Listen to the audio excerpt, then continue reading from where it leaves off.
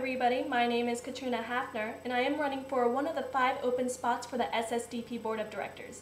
Now, let me tell you why I have decided to run. A little over a year ago, I stepped up to become the new president of Western Washington University's chapter of SSDP. Before then, I did believe that the war on drugs was a failure and needed to end, but I didn't go much beyond trying to educate people about it through social media and organizing presentations advocating for drug legalization and decriminalization at my school. I knew that it was time to not only learn more for myself, but to begin my drug policy activism.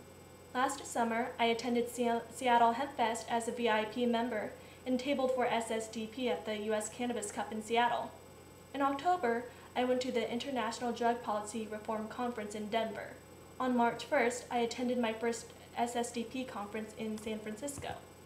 Because of the shortcomings of I-502 in Washington state, many activists worked together last year, including me, to try to get I-584 on the ballot this November.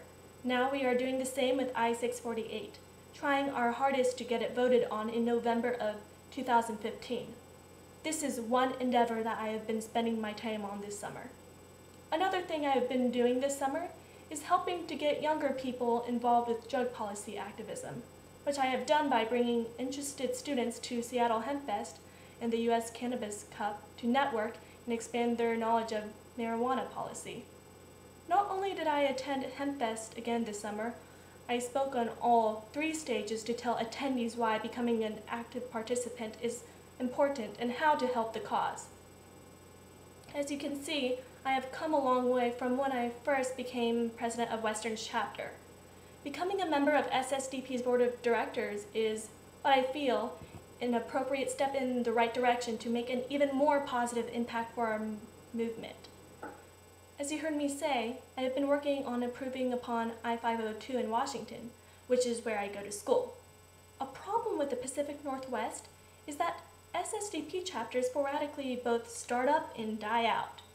Western Washington University's chapter is the only one in the state that has been going for a few years and is still around.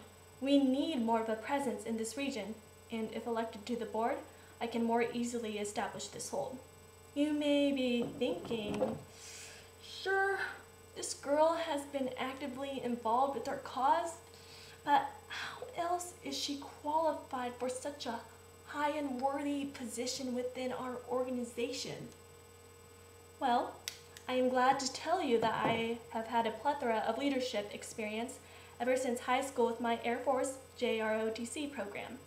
In college, I have been the president of quite a few clubs on campus and was inducted to and served as an officer for my school's chapter of a national leadership organization.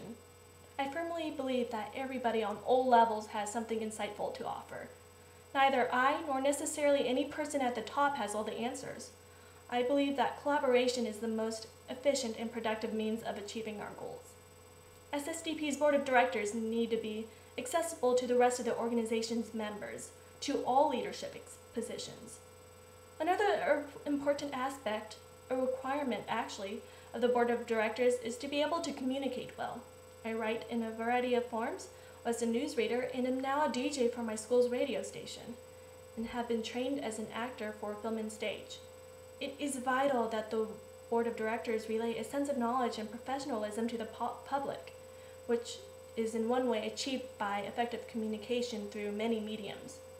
I can assure you that I have the experience and the passion necessary to be elected to the board of directors.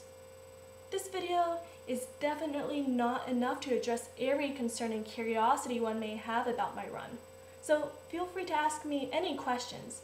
Most importantly, Vote for reliability and innovation. Vote for me, Katrina Haffner, to serve these next two years for you on the SSDP Board of Directors.